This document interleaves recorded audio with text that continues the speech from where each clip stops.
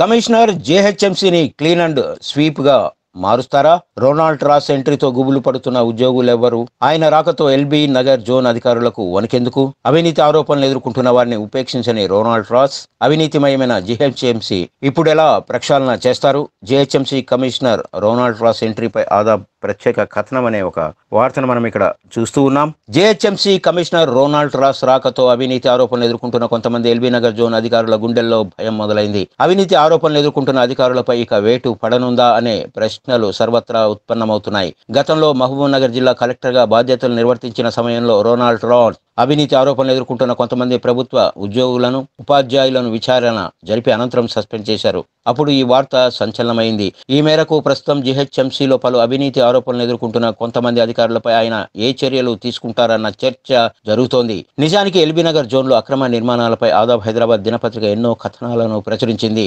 Vigilance విభాగం అక్రమ నిర్మాణాల కథనాలపై స్పందించి అక్రమ నిర్మాణాలకు కొమ్ము కాస్తూ ప్రభుత్వ ఆదాయానికి పరోక్షంగా గండి కొడుతున్న ఏసీపీ దేవేందర్ సెక్షన్ ఆఫీసర్ కృష్ణయ్యపై దర్యాప్తునకు ఉన్నతాధికారులు ఓ అధికారిని నియమించారు. దర్యాప్తు కొనసాగుతుంది. ఈ సమయంలో ఐ డోంట్ కేర్ అంటూ యథేచ్ఛగా అక్రమ నిర్మాణదారులకు కొండంత అండదండలు కల్పిస్తున్న ఏసీపీ దేవేందర్ సెక్షన్ ఆఫీసర్ కృష్ణయ్యలపై జిహెచ్ఎంసీ కమిషనర్ రోనాల్డ్ రాస్ ఏం చర్యలు తీసుకుంటారో అన్న ఉత్కంఠ మొదలైంది. టౌన్ ప్లానింగ్ విభాగంలో ఎందరో అనధికార సిబ్బంది పనిచేస్తున్నారు. వారిని పట్టించుకున్న నాథుడు లేడు. వారు ఎలాంటి విధులు నిర్వర్తిస్తున్నారు అన్నది ప్రశ్నార్థకంగానే ఉంది. దేశంలో నిర్మాణ రంగంలో అతి వేగంగా అభివృద్ధి చెందుతున్న ప్రధాన నగరాల్లో హైదరాబాద్ నగరం ఒకటి. పల్లె పట్టణం అన్న తేడా లేకుండా ఆర్థికంగా స్థిరపడిన కొందరు నగరంలోనే తమ సొంతింటి కలను నెరవేర్చుకుంటున్నారు. అయితే గ్రేటర్ నగరంలో కొందరు నిర్మాణదారులు సిస్టంలో కొన్ని లోపాలను అవకాశంగా మార్చుకొని చిన్న చిన్న చెరువులను కుంటలను ప్రభుత్వ స్థలాలను సైతం కొంతమంది అధికారుల సహకారంతో ఆక్రమించుకొని ఇష్టానుసారంగా నిర్మాణాలు చేపడుతూ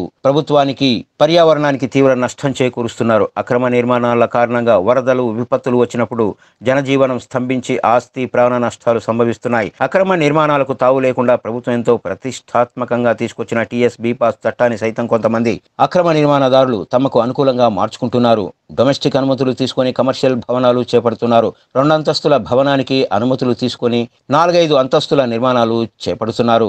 సెల్లార్ అనుమతులు తీసుకోరు కానీ సెల్లార్ నిర్మాణ పనులు కొనసాగుతాయి. సరూర్ నగర్ సర్కిల్ అక్రమ నిర్మాణాలపై ఆదాబ్ హైదరాబాద్ పత్రికలో ఎన్నో వరుస కథనాలు వచ్చాయి. వాటికి అధికారులు ఏనాడు స్పందించలేదు. అక్రమ నిర్మాణాలపై ఫిర్యాదులు వస్తే వాటిని పరిశీలించేలోపే నిర్మాణాలు పూర్తవుతున్నాయి. ఇప్పుడు కమిషనర్గా రోనాల్డ్ రాస్ రాకతో జీహెచ్ఎంసీలో అవినీతికి శుభం కార్డు పడనుందా? లేక రాజకీయ ఒత్తిళ్ళకు తలొగ్గి ఆయన కూడా ఇదే తంతును కొనసాగిస్తారా అన్నది వేచి చూడాలి.